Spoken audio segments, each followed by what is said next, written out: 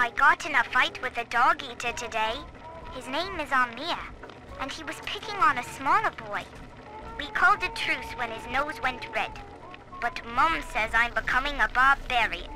So I said, Eleanor, eat dog now too. Barbarian. Happy. And Mom said, they only think they're happy because they're selfish and ignorant. Hmm. Eleanor, think ignorant sound like fun.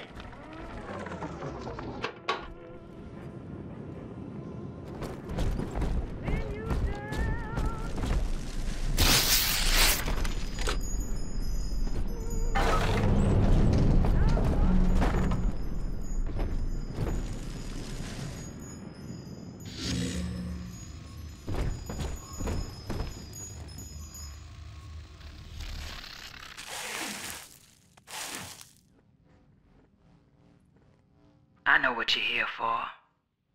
Go on, take it. I won't have you touching me. Dr. Lamb trusted me to care for her child. And I tried.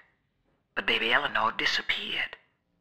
And then one day, I see her walking with you, looking wrong. And when I tried to hold her, you knocked me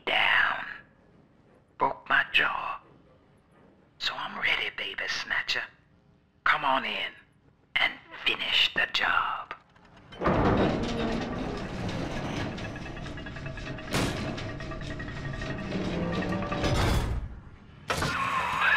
Your call, friend. Grace is unarmed, for what it's worth.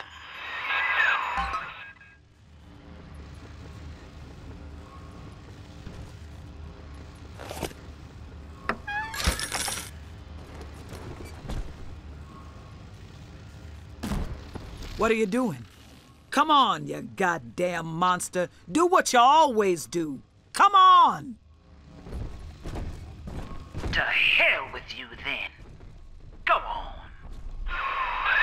You're a bigger man than I am, Chief. Maybe next time she'll think twice about pointing fingers before all the facts are in. Now, let's be on our way. Eleanor's waiting.